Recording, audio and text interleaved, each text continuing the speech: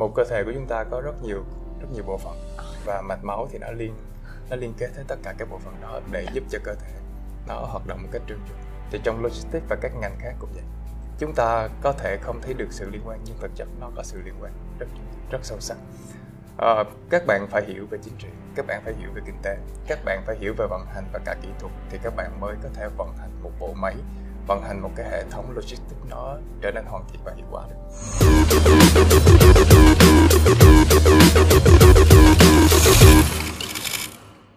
Chào mừng các bạn đến với podcast Chuyện Ngành, Chuyện Nghề ngày hôm nay. Và mình là Khánh Tuyền, rất vui khi được đồng hành với các bạn Với chủ đề là Shipper thời đại mới. Và khách mời của chúng ta là Thạc sĩ Trần Kim Phong Là giảng viên của ngành Logistics và Quản lý chuỗi cung ứng Trường Đại học Quốc tế Hồng Bàng. Dạ, em chào thầy. Chào. Dạ, mời thầy giới thiệu một tí xíu về bản thân của mình Xin chào tất cả các bạn, à, mình là Trần Kim Phong. Hiện tại đang là giảng viên của ngành Logistics và Quản lý chuỗi cung ứng của Trường Đại học Quốc tế Hồng Bang Rất vui ngày hôm nay có cơ hội được ngồi với uh, bạn và có thể chia sẻ với tất cả mọi người về ngành logistics cũng như xu hướng về ngành logistics trong tương lai. Dạ thầy, trước khi mà vào tìm hiểu ngành này thì em mời thầy à, mình uống trà tí xíu thầy ha. Um, thầy ơi, là cái ngành này đó em thấy ở trên thế giới á, thì khá là phát triển nhưng mà chỉ mới du nhập vô Việt Nam mình uh, cách đây vài năm thôi. Thì không biết cơ duyên nào mà thầy lại chọn cái ngành logistics và quản lý chuỗi cung ứng này?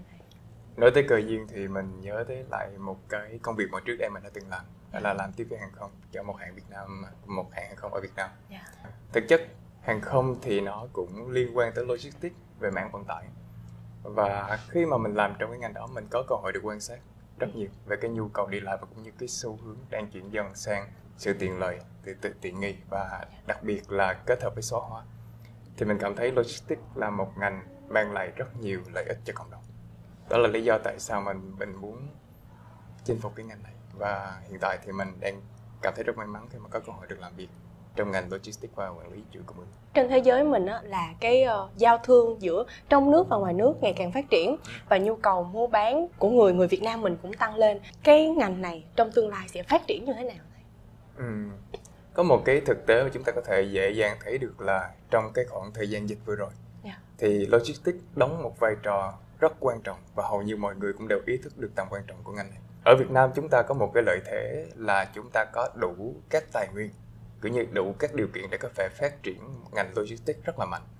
Và trước đây thì logistics đã ở Việt Nam rồi, nhưng chúng ta chưa hình dung và cũng chưa ý thức được là về tầm quan trọng của nó như thế nào.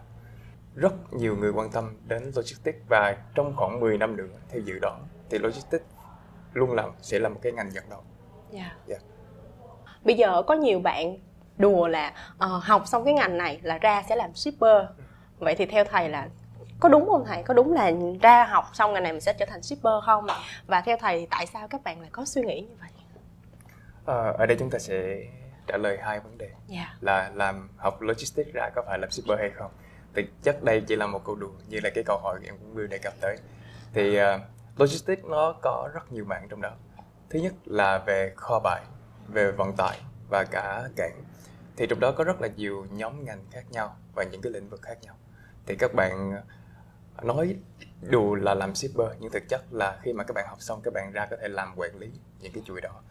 À, đặc biệt là ở Việt Nam có một cái lợi thế phát triển rất mạnh như là Grab hoặc là những đối thủ cạnh tranh hiện nay mới ra đó là uh, VinSM, uh, SunSM chúng ta có thể thấy được là cái thị trường hoạt động ở Việt Nam cực kỳ linh hoạt và rất là năng động trong cái mạng này. Và lý do tại sao mà các bạn sinh viên lại có cái suy nghĩ và hay đùa giỡn như vậy là bởi vì các bạn đang thấy một cái sự phát triển rất vượt bậc sau sau đại dịch covid yeah. Dạ. thì các bạn thấy được là shipper hoạt động rất nhiều và bây giờ rất nhiều bạn tham gia cái ngành đó rất nhiều bạn trẻ tham gia cái ngành đó thì uh, đó là uh, là những cái suy nghĩ và những cái hiểu biết uh, còn hơi thiếu một tí về về ngành yeah. Dạ. Yeah thầy giúp các bạn sinh viên ở đây có thể định nghĩa được ngành logistics và quản lý chuỗi cung ứng là ngành gì à, như mình vừa nói một cái ví dụ để cho các bạn dễ hình dung thì yeah. logistics và quản lý chuỗi cung ứng là một là gồm những hoạt động mà kết nối những doanh nghiệp ừ. từ việc đưa những sản phẩm của những doanh nghiệp đi ra nước ngoài yeah. hoặc là đi ra thị trường bằng việc à, mạnh nhất là vận tải ừ. và để có một cái sự vận tải nó trôi chảy thì cần có một cái sự quản lý về kho bãi yeah. cũng hiệu quả thì tất nhiên các bạn sinh viên học ngành này ra thì không những các bạn uh, hay đùa là làm shipper thì uh, các bạn còn có thể quản lý quản lý những cái chuỗi đó dạ. và những cái công việc khác nhau vừa dựa vào ba cái nhóm ờ, nhóm ngành những nhóm phần ngành mà mình vừa nói. Dạ. Yeah. Yeah. Thầy ơi, vậy là cái ngành này á thì em thấy là hơi khô khan nè, rồi còn ừ. vất vả nữa. Vậy thì có phải là cái ngành này uh, có phân biệt giữa nam với nữ phái nào sẽ làm tốt hơn? Thực sự theo quan điểm cá nhân của mình thì mình cảm thấy bất kỳ ngành nghề nào cũng yeah. Dạ. sẽ có những cái khó khăn riêng. À, và logistics thì cũng không ngoại lệ.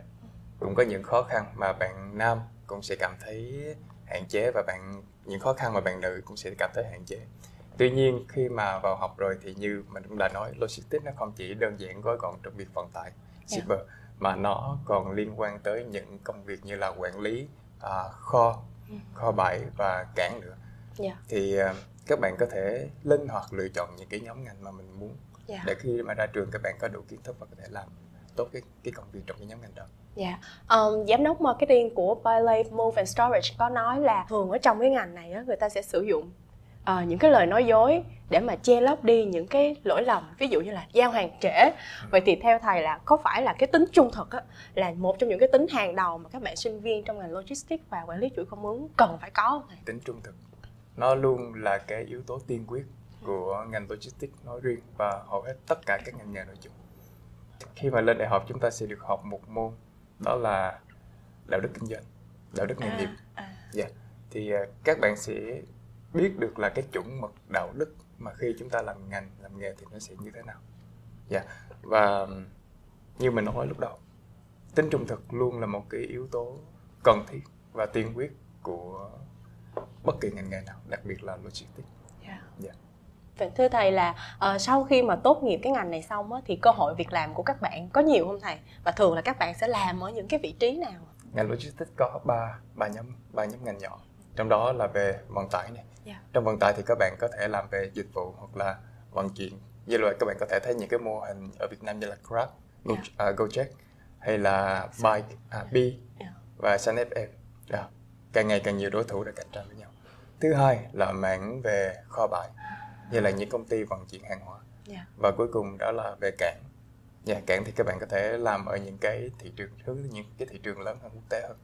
Dạ yeah, thì rất là nhiều công việc mà các bạn có thể linh động. À, cái ý thứ hai là thị trường công việc à, nó có nhiều hay không? Dạ, thị trường công việc trong ngày này rất nhiều. Dạ yeah, thật sự là rất nhiều. Và trong hiện tại cũng đang là một cái thế mạnh của logistics ở Việt Nam. Tại Việt Nam mình có rất là đủ rất là nhiều và có đủ điều kiện để có thể phát triển một cách rất là vượt bậc. Dạ. Yeah và câu hỏi cuối cùng là sinh viên ra trường có dễ xin việc trong ngành này hay không? Câu hỏi này thì nó liên quan tới việc các bạn sẽ phải chuẩn bị gì cho bản thân mình?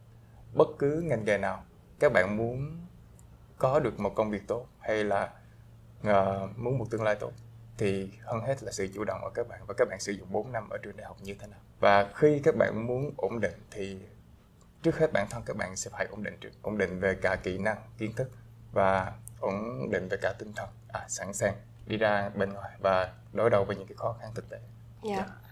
yeah. em là một trong những ngành có lương rất là tốt dạ vậy thì theo thầy là mức lương các bạn sau khi ra trường á, thì sẽ dao động như thế nào mức lương tốt trong ngành logistics là một điều không thể phủ nhận được yeah. Yeah. À, nhưng mà sẽ tùy vào vị trí vùng miền các bạn làm và cái vị trí công việc mà các bạn đang làm là gì trách nhiệm của các bạn là gì thì đối với một bạn sinh viên mới ra trường hoặc là một bạn nhân viên bình thường uh, có khoảng vài năm kinh nghiệm thì mức lương dao động khoảng vài triệu đến vài chục triệu còn đối với những cái cấp bậc quản lý và giám đốc về logistics yeah. Dạ. thì mức lương có thể dao động từ vài chục triệu đến vài trăm triệu trong một tháng đó là chuyện rất bình thường Bây giờ thì em mời thầy giới thiệu một tí xíu về cái ngành à, logistics và quản lý chuỗi cung ứng của trường đại học quốc tế Hồng Bàng là nội dung của mình sẽ học như thế nào và thời gian học ra sao? Ừ. Hiện tại thì logistics và quản lý chuỗi cung ứng của trường đại học quốc tế Hồng Bàng thì uh, các bạn sẽ được học sẽ được đào tạo trong một 4 năm. Yeah. Dạ. và các bạn sẽ được học những nhóm ngành như là sẽ phân sẽ phân theo cái mức độ mà các bạn vào trường.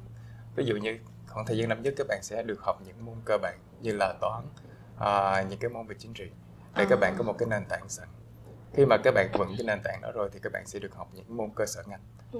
À, những cái môn cơ sở ngành sẽ giúp cho các bạn hiểu rõ hơn tổng quát về logistics là gì các mảng đang được hoạt động trong logistics và đặc biệt nữa là sau khoảng thời gian đó các bạn sẽ đi thực tập và học những môn chuyên ngành yeah. thì đây là cái khoảng thời gian các bạn sẽ học tập và nghiên cứu chuyên sâu về logistics và những cái mạng của nó yeah. và cuối cùng thì các bạn sẽ làm một cái luận văn tốt nghiệp uh, để có thể uh, chứng tỏ là ok mình đã đạt được gì đã achieve được gì yeah. sau 4 năm học ở trường đại học thì uh, hầu hết các bạn uh, sinh viên của trường uh, học ngành logistics theo quan điểm cá nhân mình thấy các bạn rất năng động yeah, dạ, và rất chủ động trong cái việc là tìm kiếm cơ hội cho bản thân của mình yeah. Yeah. Dạ. thầy ơi có nhất thiết là phải học uh, các môn như về chính trị nè về kinh tế để mình có thể làm tốt trong cái lĩnh vực uh, logistics và quản lý chuỗi cung ứng này ừ. một cơ thể của chúng ta có rất nhiều rất nhiều bộ phận à. và mạch máu thì nó liên nó liên kết hết tất cả các bộ phận đó để yeah. Dạ. giúp cho cơ thể nó hoạt động một cách trơn tru thì trong logistics và các ngành khác cũng vậy chúng ta có thể không thấy được sự liên quan nhưng thực chất nó có sự liên quan rất rất sâu sắc. À, các bạn phải hiểu về chính trị các bạn phải hiểu về kinh tế các bạn phải hiểu về vận hành và cả kỹ thuật thì các bạn mới có thể vận hành một bộ máy vận hành một cái hệ thống logistics nó trở nên hoàn thiện và hiệu quả được.